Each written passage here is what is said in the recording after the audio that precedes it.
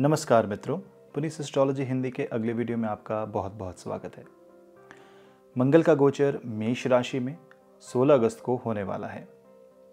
मंगल मेष राशि में 16 अगस्त से लेकर के 10 सितंबर तक 10 सितंबर तक मार्गी रहेंगे। 10 सितंबर को मंगल वक्री होकर के मीन राशि की ओर प्रस्थान करने की शुरुआत करेंगे। मीन राशि की ओर प्रस्थान करेंगे।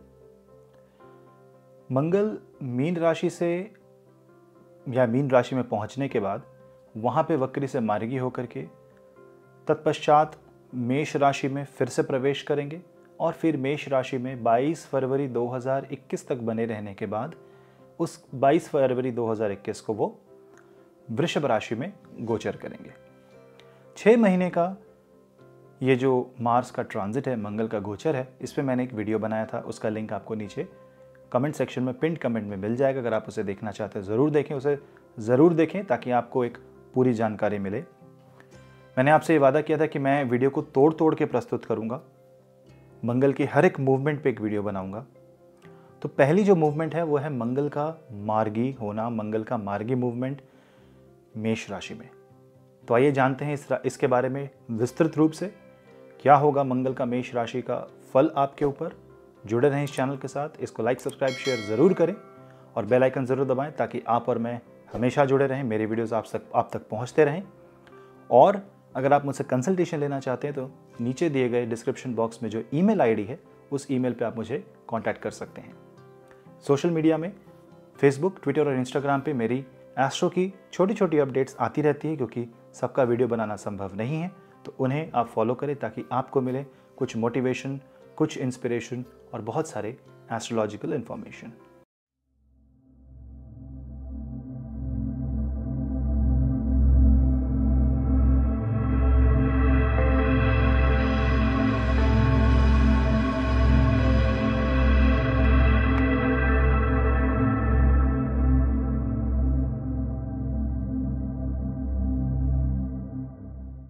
मंगल पुरुषार्थ के ग्रह हैं मंगल उमंग है उत्साह है, जोश, जुनून, पावर, युद्ध युद्ध कौशल, योद्धा, पराक्रम, बाहुबल, भाईचारा, ये सब मंगल के प्रतीक हैं। ब्लड प्रेशर, रक्त संबंधी किसी भी तरीके का विकार, दिल की धड़कन का तेज होना या कम होना, जोश में होश खो बैठना, गुस्सा बहुत आना, और बिना सोचे समझे किसी काम को करना, किसी भी प्रयास को तब तक करते जाना जब तक आपकी ऊर्जा समाप्त न हो जाए, ये मंगल का विकार कहलाएगा। इसके स्वामी मंगल जब मार्गी होकर के स्वग्रही होते हैं, मेष राशि में जाते हैं तो ये बहुत ज़्यादा पावरफुल बहुत शक्तिशाली हो जाते हैं। मेष राशि है तो धर्म की राशि, धर्म त्रिकोण की पहली राशि, काल पुरुष की पहली राशि तो बहुत ज़्यादा सिग्निफिकेंस दिखाती है, ये किसी चीज़ की शुरुआत बताती है। मंगल मीन राशि में, गंडांत में, जल तत्व में अपने आत्मा को धोने के बाद, आत्मा को जिसको बोलते हैं रिजुवनेट करने के बाद, नया करने के बाद जब वो मेष राशि में जाते हैं तो एक नई शुरुआत, नई उमंग लेके आते एक नई ऊर्जा, नई स्फूर्ति पैदा करते हैं। शरीर को एक नया रास्ता बताते हैं। अलग अलग तरीके से आपको इंडिकेशंस मिलेंगे हिंट्स मिलेंगे कि आपको जीवन में कहाँ जाना है, क्या करना है, कैसे करना है। इस मंगल के गोचर को सिर्फ़ मंगल से ना देखें, इसमें सूर्य, बुध, केतु सब का उतना ही प्रभाव है, क्योंकि जब जिस दिन मंगल का गोचर मेष राशि में होगा, अगले ही दिन बुध का गोचर सिंह राशि में हो जाएगा, उसके एक दिन पहले सूर्य का गोचर सिंह राशि में होगा चार ग्रह गंडांत ग्रह प्लैनेट्स बन जाएँगे। मंगल अश्विनी नक्षत्र के गंडांत पे होंगे सूर्य और बुध माघ नक्षत्र के गंडांत पे होंगे और केतु ऑलरेडी मूल नक्षत्र के गंडांत पे चल रहा है। यानी 16, 17, 18, 19, 20, 21 इन जो एक हफ़्ते का जो टाइम पीरियड है इस टाइम पीरियड में होने वाली किसी भी घटना पे गौर करना बहुत ज़रूरी है इस पे विचार करना बहुत आवश्यक हो जाता है। क्योंकि आप इन दिनों होने वाले जो इन दिनों जो होने वाली घटनाएँ हैं, वो आपके जीवन से उस तार से जुड़ी हैं, जो तार आपकी रूट्स तक जाता है, आपकी जड़ों तक पहुँचता है। यानी कि आप अपनी जड़ों को समझ सकते हैं, आप अपने आप को पहचान सकते हैं, आप अपने आप से युद्ध विराम कर सकते हैं या युद्ध की शुरुआत कर सकते हैं। ये देखना होगा कि आप स्वतः किस स्थिति में खड़े हैं, स्वतः की स्थिति क्या है, आपकी मानसिक स्थिति क्या है। ये आपके बारे में बहुत कुछ बताएगा, लोग आपके बारे में बहुत कुछ बताएँगे तो पूरे सरकमस्टेंस को बहुत एक एक एक दिव्य दृष्टि से देखना बहुत आवश्यक हो जाता है यहाँ पे। मंगल सेनापति हैं तो सेनापति अगर गंडांत पार करके आ रहे हैं तो इसका मतलब है कि युद्ध विराम हटने वाला है, दुख की पराजय होने वाली है, अशुभता का खात्मा होने वाला है, अंधकार समाप्त होने वाला है। पर इसे समाप्ति की ओर तभी ले जाया जा सकता है, जब आप वो युद्ध लड़ने के लिए अपने जीवन में अपने आप को प्रेरित करेंगे, अपने आप को रेडी कर लेंगे। ये युद्ध किससे है? ये युद्ध आपके भीतर आने वाली बीमारियों से है, अपने भीतर आने वाली बुराइयों से है, अपने भीतर आने वाली दानवीय प्रवृत्तियों से है। ये समय ऐसा है जिसमें आप किसी भी तरीके का एडिक्शन छोड़ सकते हैं, किसी भी तरीके का आप, कोई अगर आपके मन में बुरी भावना है, उसे छोड़ सकते हैं, कोई आपके मन में किसी के प्रति गुस्सा है तो उसे आप त्याग सकते हैं और एक बेहतर व्यक्ति बेहतर इंसान बन सकते हैं। मंगल बहुत ज़्यादा ऊर्जा लेकर के आ रहे हैं। इसका मतलब ये भी है कि वो हमारे आक्रोश को बढ़ाएगा, गुस्से को बढ़ाएगा, हड़बड़ाहट को बढ़ाएगा। जल्दबाजी के चक्कर में कहीं ये ना हो कि कोई गलत कदम उठा ले, कहीं ऐसा ना हो कि पुरुषार्थ के घमंड में हम कोई ऐसा स्टेप उठा लें जो कि हमें पतन की ओर ढकेल दे। इस बात का खास ध्यान हम सबको रखना पड़ेगा, खासकर अगर मंगल आपकी कुंडली में प्रभावशाली ग्रह हैं, आपकी मंगल की राशि है, यानी कि मेष या वृश्चिक राशि है या आप मेष, सिंह या धनु, लगन या राशि के जातक हैं। अगर आपके शरीर में अग्नि तत्व भी प्रधान है तो भी आपको अपने गुस्से को, अपने इच्छाओं को काबू करना पड़ेगा, क्योंकि मंगल मेष राशि में नई इच्छा शक्ति का वरदान देते हैं। ये इच्छा शक्ति हमें बहुत आगे ले जा सकती है किसी भी कार्य को करने में, लेकिन इच्छा की मनोकामना करनी है। इच्छा की लालसा में नहीं जीना। इच्छा पूर्ति के लिए नहीं जीना, इच्छा होनी चाहिए गंतव्य के निर्धारण के लिए, लेकिन गंतव्य तक पहुँचने के लिए इच्छा की नहीं, पुरुषार्थ की ज़रूरत होती है। और मंगल इन दोनों के स्वामी हैं। लेकिन आपको यह देखना पड़ेगा कि कौन सी एनर्जी आप अभी एब्जॉर्ब कर रहे हो। जैसे इलेक्ट्रिसिटी उसे अगर आप बल्ब में लगा दो तो रोशनी मिलती है, हीटर में लगा दो तो हीट मिलती है। उसे आप साउंड सिस्टम में लगा दो तो आपको ध्वनि उत्पन्न होती है। यानी ऊर्जा वही है, उपयोग भिन्न भिन्न प्रकार के हैं।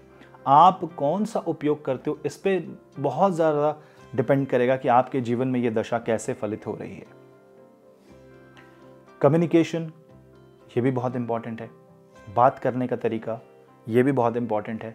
लेकिन मंगल बड़ी तेज़ी से आगे जा रहा है मेष राशि में और चार डिग्री तक मंगल जब मेष राशि में आगे जाते हैं, उसके बाद वो वक्री हो जाते हैं।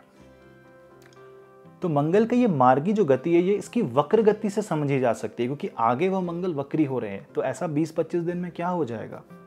हड़बड़ाहट। घबराहट में किया गया कोई भी काम, फटाफट कोई किया गया काम, आपको कठिनाइयों में डाल सकता है। किसी भी तरीके का इन्वेस्टमेंट आपको पैसों को लेकर के बहुत परेशानी में डाल सकता है। स्वास्थ्य संबंधी ध्यान देने की बहुत ज़्यादा ज़रूरत है आपको इस टाइम फ्रेम में। और ये भी आपको ध्यान रखना है कि जब मंगल वक्री हो रहे हैं, तब मंगल अपने वृषभ नवांश में होते हैं। यानी पूरा वर्गोत्तम पार करने के बाद मंगल वक्री हो रहे हैं। तो कोई ना कोई गलती ज़रूर होगी आपसे, जिसे ठीक करने के लिए आप फिर वापस मंगल के मेष, मीन राशि में प्रवेश करने का वेट करना पड़ेगा। डबल मेहनत करनी पड़ेगी, दो बार काम करने पड़ेंगे, मुश्किलों का सामना करना पड़ेगा, करेक्शन करना पड़ेगा तो क्या फ़ायदा? यानी अभी आपके लिए गए डिसीजंस को पहले आप प्लानिंग मोड में रखें। फिर जब मंगल जब मेष मीन राशि में जा रहे हैं वक्री हो रहे हैं तब जब मैं आपको डिटेल में बताऊँगा लेकिन उस वक्त आप थोड़ा ऑडिटिंग करें उस चीज़ की। और फिर जब वापस मंगल मेष राशि में प्रवेश करते उसे एग्जीक्यूट करें। मंगल इसी तरीके से करेगा। इट्स लाइक like, अभी वो पता करने आया है कि बैटल फ़ील्ड का सिनेरियो क्या है। ही विल गो बैक पीछे जाएगा वापस से अपने आप को चार्ज करेगा एंड वापस एक फाइनल विजडम लेकर के मार्स आता है। मंगल आते हैं और फिर युद्ध को जीतने में राजा की मदद करते हैं। तो इन्हीं सब चीज़ों को देखते हुए ये बातें भी देखनी ज़रूरी हैं जिसमें मैं आपको एक बात ज़रूर बताऊँ कि मंगल जो आज करने वाले हैं वो जनवरी 2021 में होने वाली चीज़ों को भी दिखाएगा क्योंकि सूर्य का मकर राशि का गोचर 14 जनवरी 2021 को होता है। 13, 14, 15 जनवरी के आसपास सूर्य का गोचर मकर राशि, सूर्य उत्तरायण होते हैं। उस वक्त सूर्य मंगल की उच्च राशि, मकर राशि में प्रवेश करते हैं। शनि के साथ प्रवेश करते हैं। बृहस्पति के साथ सूर्य होंगे और मंगल की स्थिति मेष राशि में होगी। बहुत ही बहुत ही अत्याधुनिक कॉम्बिनेशन ग्रहों की स्थिति बनती है पावरफुल स्थिति बनती है। इसका मतलब यही है कि डिफ़िकल्ट टाइम भी आ रहा है। आपको जीतना पड़ेगा। युद्ध में कोई सकुशल युद्ध तो होता नहीं। युद्ध में युद्ध के रूपी सारे दृश्य देखे जाते हैं, उतार चढ़ाव देखे जाते हैं, घाव पड़ने मतलब आपको मेहनत करनी पड़ेगी, सहना पड़ेगा चीज़ों को। आसान नहीं है कुछ भी, लेकिन विजय मिल सकती है। ये मंगल आपको यश देंगे, सम्मान देंगे, विजय देंगे। भूमि संबंधी कार्य में, कोर्ट केस में जिताएँगे। सत्य की सत्य का अगर आप साथ देते तो सत्य की विजय होगी। आध्यात्म का साथ देते तो आध्यात्म की विजय होती है आध्यात्म को आप प्राप्त करोगे। मैंने ऊर्जा है। कहीं भी लगा दो। अच्छे में लगाओगे तो अच्छा परिणाम देगी, बुरे में लगाओगे तो बुरा परिणाम देगी। लेकिन एक बात याद रहे, शनि मंगल से दसवें भाव में वक्री चल रहे हैं और विराजमान भी रहेंगे। यानी मंगल के कर्म स्थान पे शनि है। हड़बड़ा नहीं सकते। शनि, मंगल को अगर कर्म करना है तो उसे शनि की अनुमति चाहिए होगी। और शनि की अनुमति तभी मिलेगी अगर वो कार्य अच्छे परिणाम देने वाले होंगे। और अगर आपने अच्छे परिणाम देने वाले कार्य किए तो शनि की कृपा आप पे रहेगी। अन्यथा, मंगल और शनि दोनों का प्रभाव आप पे खराब हो जाएगा, खासकर आपको एक स्थान के बारे में सोचना है, तुला राशि। इसमें तुला राशि सबसे ज़्यादा प्रभावित है क्योंकि मंगल की सप्तम दृष्टि तुला पर पड़ती है और शनि की दसवीं दृष्टि तुला पर पड़ती है। तो जहाँ भी आपकी तुला राशि होगी, वो प्रभाव, वो भाव सबसे ज़्यादा नष्ट होगा। सबसे ज़्यादा नुकसान उसी भाव को पहुंचेगा। तो यही है, आपको ये दो देख समझ के करना है, तीन चार भावों को आपको देखना है। आपको देखना है मेष कहाँ है, तुला कहाँ है, मकर कहाँ है।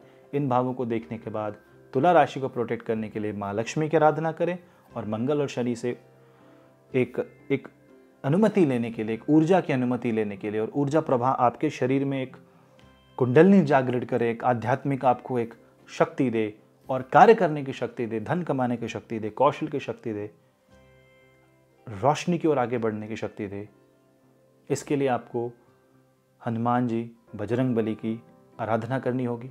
हनुमान चालीसा पढ़ें या सिंपल बजरंग बली की उपासना करें। मनोजवम मारुततुल्य वेगम जितेंद्रियम बुद्धिमताम वरिष्ठम वातात्मजम वानर यूथ मुख्यम श्री रामदूतम शरणम प्रपत्य हनुमान जी की उपासना करें, आपको इससे बहुत लाभ मिलेगा। गुस्सा ना करें, गुस्से को जताएँ भी नहीं और सॉफ्ट होकर के, भाईचारे के साथ मिल के रहें और किसी भी तरीके से इंटरनेट में नेगेटिविटी न डालें क्योंकि मंगल विद्युत है। राहु इस वक्त बैठे हुए हैं मिथुन राशि में, वो जाने वाले हैं टॉरस में, वो जाते जाते मृग शिरा के थ्रू कुछ कम्युनिकेशन स्प्रेड करके जा सकते हैं।